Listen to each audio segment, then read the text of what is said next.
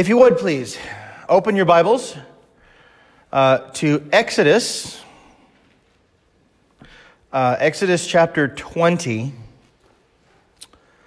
Uh, and we will begin at verse 1. If you are able, please stand for the reading of Scripture. And these words, these words we are about to hear, have changed the entire course of human history in ways we can't begin to imagine.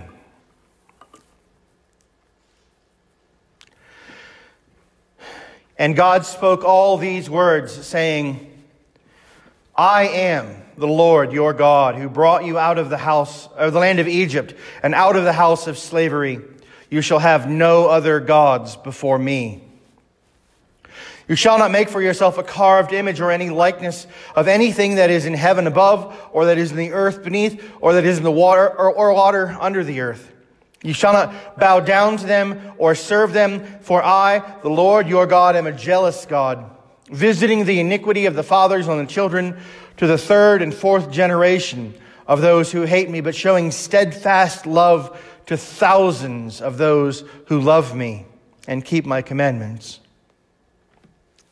You shall not take the name of the Lord your God in vain, for the Lord will not hold him guiltless who takes his name in vain.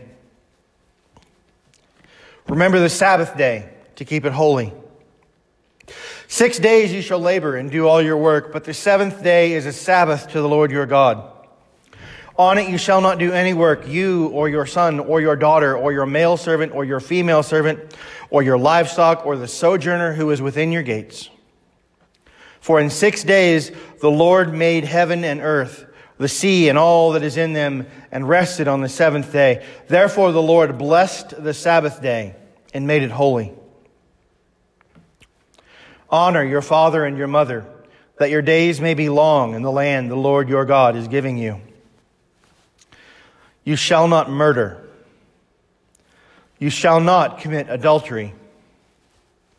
You shall not steal. You shall not bear false witness against your neighbor. You shall not covet your neighbor's house. You shall not covet your neighbor's wife, or his male servant, or his female servant, or his ox, or his donkey, or anything that is your neighbor's. The word of God to the people of God. Thanks be to God. Thank you. You may be seated. Would you bow your hearts with me, please, for just a moment?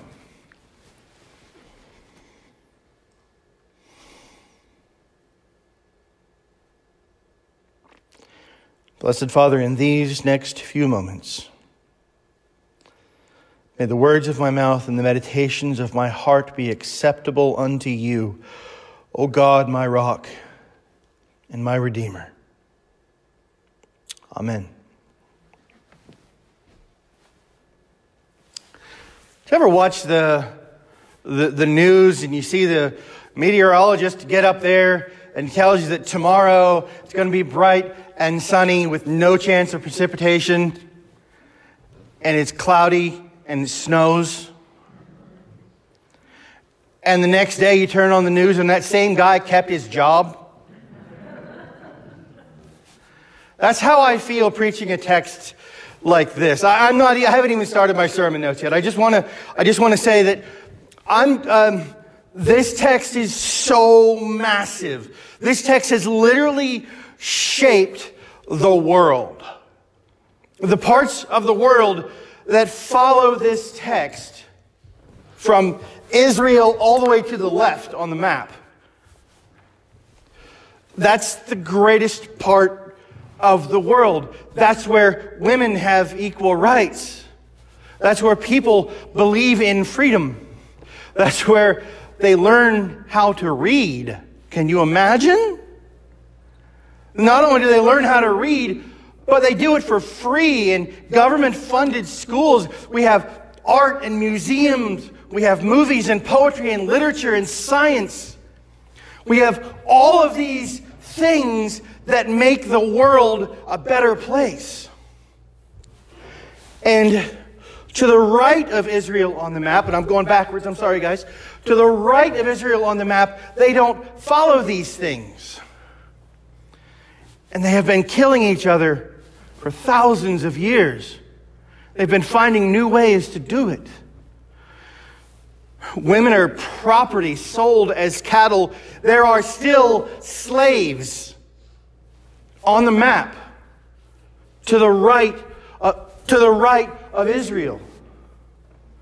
The last African slave was sold in 1989.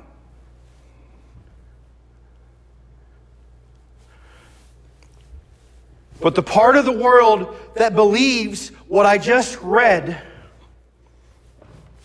now has a vehicle exploring the surface of Mars.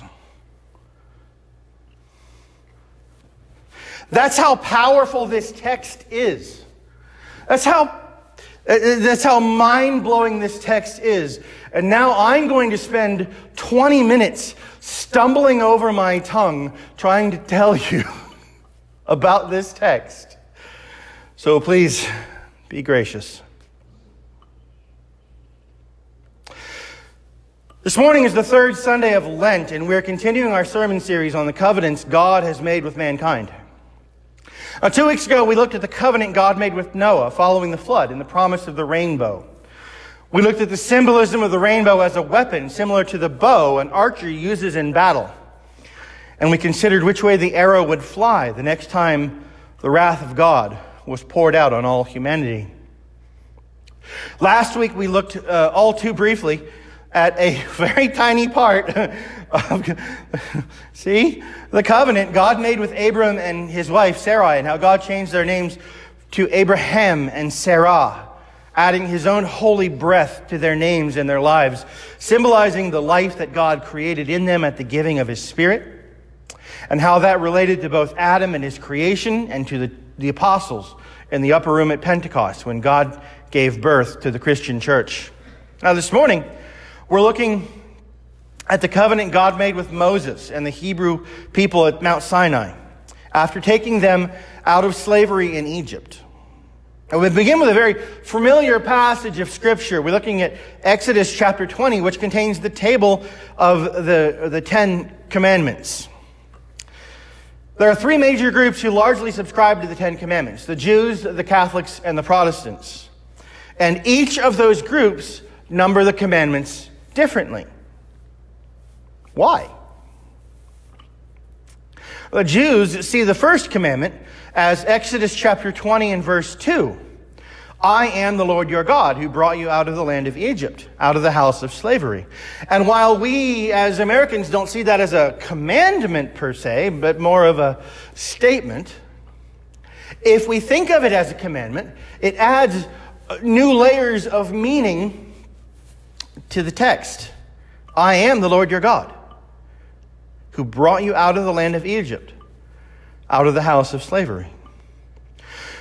Protestant, Protestants and Catholics generally hold that to be a prologue of sorts, and we go right to uh, Exodus 20, verse 3 You shall have no other gods before me, as the first commandment.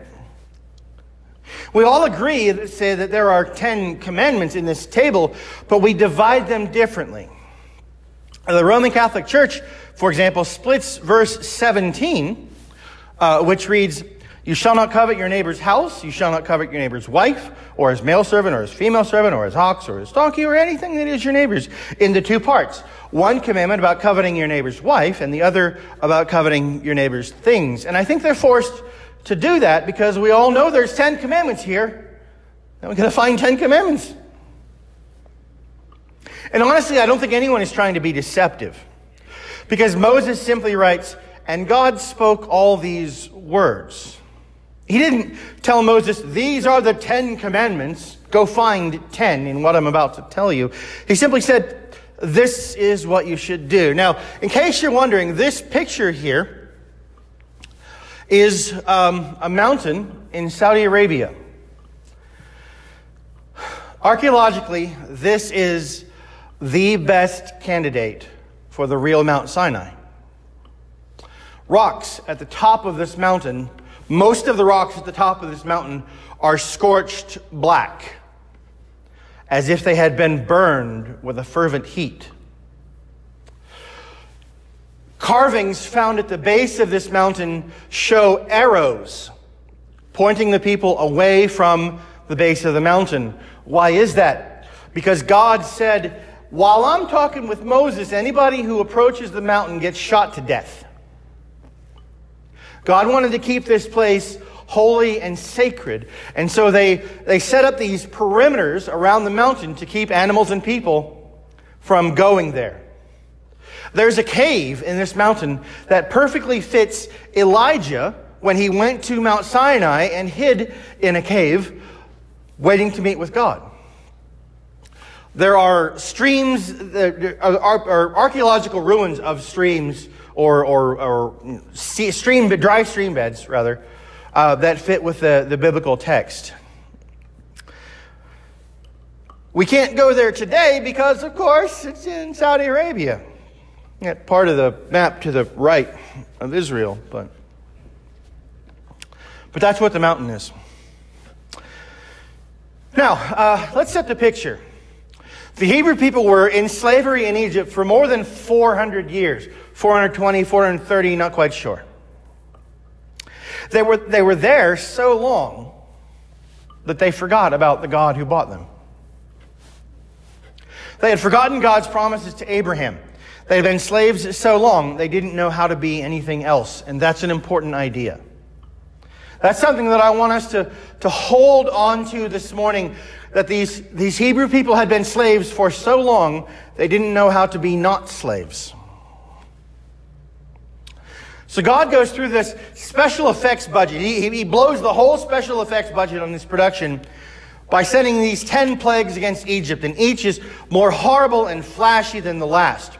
Water turns to blood, frogs cover the land, the sky fills with gnats, and then the sky fills with flies, and then Egyptian livestock, but not Hebrew livestock, just, just die. And then there's a plague of boils on all the people, and then hail and fire literally fall out of the sky, killing everything that it strikes, but it didn't fall in the land of Goshen where the Hebrews lived locust, darkness, and then even death itself, the death of the firstborn. And finally, the Pharaoh had had enough and he begged Moses to take the people and go. But there's this massive light show, this incredible special effects display, the very visible hand of God moving in powerful ways to free the people before anything happens at all. And just a few months later, the people are at the base of the mountain making a golden calf and worshiping a God of their own making. You see, God leads them out of Egypt with signs of great power and majesty, and a mere few weeks later, they're complaining that Moses brought them out into the desert to die. And it's really easy for us to say, oh, look at those fickle Hebrews. Look at them. They saw the power of God firsthand in their lives and they turned to idolatry. What we have to remember, dearly beloved, is that the Jews are simply a stand in for the rest of us. We too have seen the power of God in our lives. Weddings, births, healings, worship services, even in the quietness of our own heart. We have heard God speak to us. We've seen him move in ways that we cannot understand, and 10 minutes later we sin against him. I saw this in my own life this week. A particular song came on the radio, one promising, uh, it was, it was, uh, uh, the song was called Zion by Aaron Shust, right? And it's, it's, it's, it's just scripture. The whole song is scripture. And he's talking about the promises God made to Israel and how he's promising that he will come and rescue them and save them and bring them and set them safely in their own land. And of course, they apply directly to us too, because God comes to us where we are and He saves us and He rescues us and He shows us how to live. And one day He's going to come and take us and set us in our own land, in the New Jerusalem, in heaven, in a place prepared for us. So I'm, I'm, I'm driving along and I'm singing this song and I'm just crying out to God. And it's so beautiful and it's so powerful that just tears are streaming down my face. And I got to keep one eye dry at a time so I can see to drive. Ten minutes later, this punk cuts me off in traffic and almost causes an accident, and I had nothing nice to say about that guy.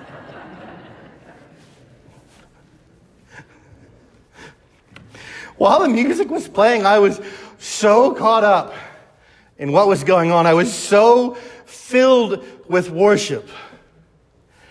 And 10 minutes later, I'm bowing down to the golden calf of my own pride.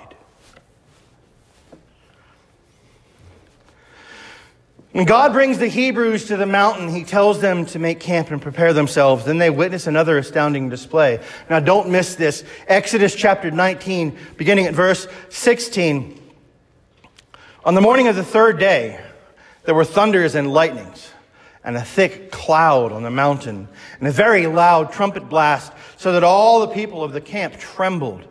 Now, imagine a trumpet on that mountain so loud that two million people tremble at the sound. Then Moses brought the people out of the camp to meet God, and they took their stand at the foot of the mountain.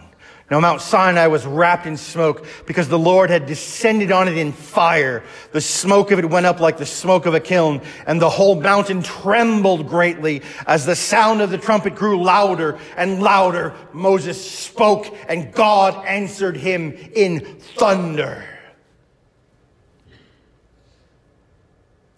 God begins this covenant making time with a display of power to remind the Hebrew people who he is. Smoke and an earthquake and the sound of great trumpet blasting from the top of the mountain. Then before Moses goes up the mountain, God speaks and we have our primary text for the day. And what is this amazing pronouncement from heaven? What is essentially the beginning of the salvation of the world? What is the first thing God does? He gives us a list of rules. Do this, do that, don't do the other thing. And it's really almost a letdown. We want some grand, amazing pronouncement from heaven, and God is saying stuff like, don't be jealous of your neighbor when he gets a new car. And not exactly. God gives us a list of rules, but he begins by reminding the people who he is, both in fire and smoke and in the trumpet blast and in the earthquake and in the words of his mouth. He says, I am the Lord your God who brought you out of the land of Egypt, out of the house of slavery. Hello, I'm your God. I was the one who brought you out of Egypt. You were slaves for 400 years. You could do nothing to stop it. You were powerless to save yourselves. Your grandparents, to the 10th generation back and beyond, were slaves serving the Egyptians. But I brought you out, he says. And once again, we look at our own lives. We look back at those years before we really knew the Lord. Now, I was born into a Christian home and I went to Sunday school at a very early age, but dearly beloved, I didn't know God in a real and personal way until I was in my early 20s. I could tell you all the stories of the, of the Bible and, you know, uh, know about the ark and, and Joshua fought the battle of Jericho, Jericho. But I didn't know what it all meant. It didn't, it, it, I had it here, I didn't have it here. But even after I met God in my early 20s, I was more inconsistent than the Hebrews. One moment praising God for bringing me out of my slavery to sin and death, the next moment erecting idols to that very sin and death. Even now I catch myself longing for the pleasures of Egypt for the slavery from which I have been freed, for the sin that brought my life nothing but pain and misery. And I nod along silently when I read the passage. Because the Hebrews, who are at this moment standing in awe before the booming voice of an almighty God, will in just a few days begin collecting jewelry to fashion an idol. I can remember one night when I was a kid. maybe eight or nine years old, there was a knock on the door at about 2.30 in the morning. You know, that time right after the bars let out. We were all terrified and we answered the door and there was this foul smelling and bloodied man standing on our front porch. He'd been in Murray City and he was drinking all evening and then he drove home, which is what you do. No, don't, don't do that. But he, he, he drove home and he was, he was so blind drunk that when he came over this blind hill at about 60 miles an hour, he found a full grown quarter horse standing in the middle of the road. And he was driving too fast and he was too drunk to even try to avoid the horse, which he hit at a full 60 miles an hour, killing the horse and ripping the roof completely off of his car. You see, the horse had broken down a fence and had gotten out of the pasture field where he had been born. This horse had lived and eaten and played and slept in that pasture field his whole life. And he breaks down the fence and he steps out into the dangerous road. So now we come back to the question we asked at the beginning of the call to worship this morning, Psalm 119, verses 9 and 10. How can a young man keep his way pure?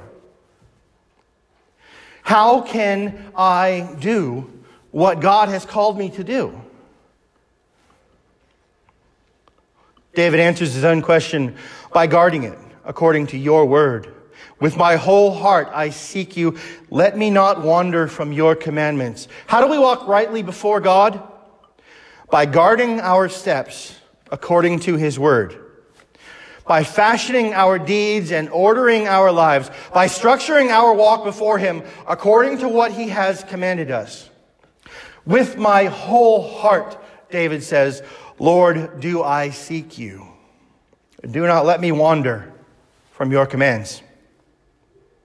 And so it makes sense that at the time begin, at the time that God begins to deal with the real sin problem, at the time God begins to actually solve the issues which plague the human heart, the first thing he would do is to tell us how to live. I am your God, he says. I'm the reason you are free. Don't worship anybody else. Don't make idols to worship them. Don't take my name in vain.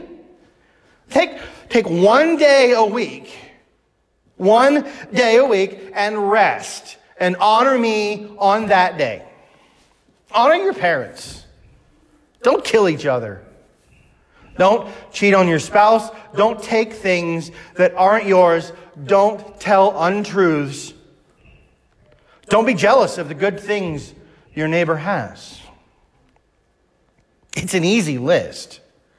I mean, really, it makes sense. We could, most of these we could easily see posted on that big brown sign at the entrance to the playground at the city park, right? Just don't, don't do these things. If we don't take a day off each week, my, my body will burn out. If I, if I take something that isn't mine, the owner who, who owns it will come looking for it and be angry with me. If I'm jealous of what my neighbor has, I'm making myself miserable and gaining nothing. Like the Hebrews, our inconstant hearts tend to wander. And the more we wander, the more we stray into strange places. But God sets up fences around my wandering heart, just like we set up a fence around the pasture field. And if I wander too far, there's the Spirit reminding me of the commandment, you shouldn't lie. That only leads to misery. And maybe I heed the Spirit's warning, and maybe I go ahead and get myself into all kinds of trouble by crossing a fence that was there for my protection. See, here, at the beginning of God's covenant with Moses, he deals with our wandering hearts and our proclivity to sin by simply saying, don't. Because once again, God's primary concern here is for us and for our well being. He gives us these rules. He places these fences around the pasture fields of our lives to keep us safe. And He does these things, dearly beloved, because He loves you. And that is good news indeed. Amen.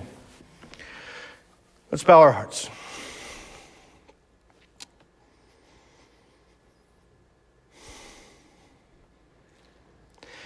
Blessed Father, we thank you for your hand of guidance. As a loving parent leading a young child, we thank you, Lord, for the fences that you have put up in our lives. Father, we ask that you would help us to see them better and to obey them more. In Christ's name we pray. Amen.